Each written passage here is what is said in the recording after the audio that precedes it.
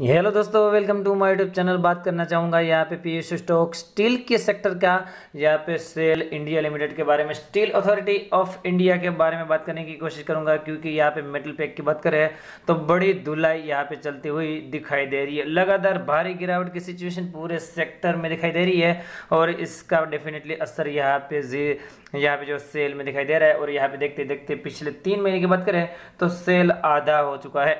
जी हाँ भयंकर गिरावट की सिचुएशन है और मुझे पता है कि 100 से नब्बे रुपए का जोन ऐसा था जहाँ पे सेल ने काफ़ी बार सपोर्ट लेने की कोशिश करी थी और वहाँ पे काफ़ी लोग फंस चुके होंगे। तो डेफिनेटली सेल के बारे में बताने की कोशिश करूँगा। वीडियो के साथ पूरा पूरा जुड़े रहे। वीडियो अच्छा लगा हो तो लाइक का बटन दबाइए। सबसे पहले बात करना चाहूँगा कि यहाँ पे फ्री वाले टेलीग्राम चैनल का भाग नहीं बने हो तो डेफिनेटली यहाँ पे काफ़ी ज़्यादा आप मिस कर रहे हो। बिल्कुल फ्री ऑफ़ कॉस्ट तो आप उसका डेफिनेटली भाग बन सकते हो। वीडियो के डिस्क्रिप्शन में यहाँ पे टेलीग्राम की लिंक मिल जाएगी, वहाँ से आप ज्वाइन कर सकते हो। अभी बात करना चाहूँगा कि आज की सेल की सिचुएशन किस तरह की रही, क्योंकि आज भी यहाँ पे बाज़ार में भी प्रेशर देखने को मिला और स्टील अथॉरिटी ऑफ़ इंडिया में भी प्रेशर देखने को मिला। यहाँ पे देखिए, इसकी क्लोजिंग छियासठ रुपये पैंतालीस पैसे के आसपास हुई है। यहाँ पर देख सकते हो, छियासठ रुपये पैंतालीस पैसे के आसपास। आज भी चार प्रतिशत की बड़ी गिरावट आपको नज़र आई है। और पिछले कुछ समय में बात करें तो यहाँ पे बहुत ही तेज गिरावट की सिचुएशन आपको दिखाई दी है, जैसे कि एक वीक में सात प्रतिशत पिछले एक महीने में दस प्रतिशत, पिछले छः महीने में चालीस प्रतिशत 2022 में भी 40 प्रतिशत, क्योंकि 2022 को भी छः महीने ही हुए हैं, और एक साल में 50 प्रतिशत के आसपास की गिरावट की सिचुएशन आपको नज़र आई है। तो हाल फ़िलहाल में सिचुएशन देखें तो मैनेजमेंट में थोड़ा बहुत फेरबदल भी किया गया है, जैसे कि यहाँ न्यूज़ निकल करके आई है कि सेल एक Tulsani tax charge as director SAIL के हायर मैनेजमेंट में है। काफ़ी ज़्यादा फेरबदल किया गया है जिसकी अपडेट यहाँ पे सेल ने देने की कोशिश करी है।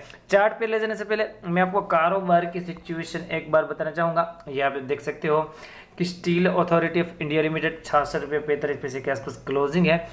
लगभग लगभग साढ़े तीन प्रतिशत की गिरावट दिखाई दे रही है। प्रीवियस क्लोजिंग अड़सठ रुपये अस्सी पैसे ओपन अड़सठ रुपये के आसपास। आई भी जहाँ पे ओपनिंग वहाँ पे ही और लो बनाया पैंसठ रुपये पंद्रह पैसे का। यहाँ पे जो क्वांटिटी ट्रेड हुई है, वो आपके सामने प्रेजेंट करने की कोशिश करूँगा। चार करोड़ लगभग लगभग शेयर की ट्रेडिंग है, जिसमें से मात्र छियालीस लाख शेयर की डिलीवरी और परसेंटेज ऑफ़ डिलीवरी बारह प्रतिशत से भी कम नज़र आ रही है। तो अभी भी इस लेवल पे भी यहाँ पे कोई भी इन्वेस्टर माल लेने के लिए तैयार नहीं है तो वीकनेस साफ़ साफ़ यहाँ पे सेल में दिखाई दे रही है। चार्ट पे लेकर के जाना चाहूँगा और यहाँ पे कुछ लेवल है वो आपके सामने प्रेजेंट करने की कोशिश करूँगा तो मैं चाहूँगा कि अंत तक आप वीडियो के साथ बने रहे। तो दोस्तों स्टील अथॉरिटी ऑफ़ इंडिया के चार्ट पे अगेन लेकर आया हूँ और यहाँ पे आया ज़ीरो का प्लेटफॉर्म आपके सामने है। वन डे की टाइम फ्रेम पे बात करने की कोशिश करेंगे। यहाँ पे देखें कि एक पिचासी रुपये का सपोर्ट था, उसको तोड़ दिया। उसके बाद इसका रिट्रेसमेंट भी होता है और जो सपोर्ट था वो एज ए रजिस्टेंस के तौर पर उभर करके आता है। और वहाँ से शार्प सेल ऑफ़ और यहाँ पे सेवेंटी के आसपास संभलने की कोशिश करी। फिर से बाउंस देता है। और फिर से सेल ऑफ़ दिखाई देता है। तो यहाँ पे पिछले चार दिन की बात करें तो चार दिन में यहाँ पे एक रेंज बन चुकी है सेल की। ऊपर की तरफ़ सत्तर रुपये, जो कि पहले सपोर्ट हुआ करता था, यहाँ पे देख सकते हो, वो अभी रजिस्टेंस के तौर पे काम कर रहा है और नीचे की तरफ़ 63 64 के आसपास सपोर्ट लेने की कोशिश कर रहा है। तो मुझे लगता है अभी यहाँ पे ये जो रेंज है, वो डेफिनेटली ब्रेकआउट या ब्रेकडाउन में आपको तब्दील होती हुई दिखाई देगी आगे आने दिनों में।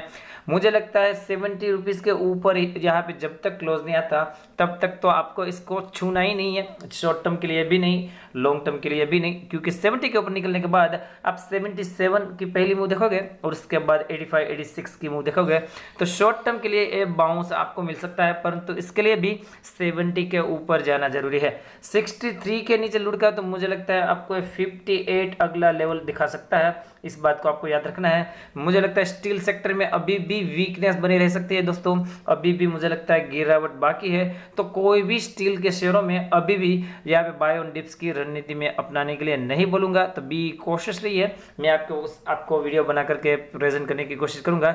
जब भी यहाँ पे स्टील के सेक्टर और स्टील के स्टॉक अच्छे लेवल पे आ जाएँगे तो आप मेरी चैनल के साथ डेफिनेटली बने रहे। यहाँ पे लॉन्ग टर्म में डेफिनेटली बाइंग करने का बढ़िया मौका होगा। लोअर लेवल आएँगे तो वहाँ पे एक्यूमुलेशन करने का बढ़िया चांस होगा। तो अभी आपको वेट एंड वॉच की रणनीति ही अपनानी है। आर का लेवल देखें तो हाईली ओवर सोल्ड हो चुका है, बत्तीस के आसपास के और यहाँ पे वॉल्यूम भी ठीक ठाक नज़र आ रहा है। तो मैं चाहूँगा दोस्तों कि सेल आप स्टडी करिए और उसके बाद ही सेल में किसी भी तरह की कोई पोजीशन बनाने की कोशिश कीजिए। वीडियो अच्छा लगा हो तो लाइक का बटन दबाइए। चैनल पर नए तो ज़रूर से ज़रूर सब्सक्राइब कीजिए।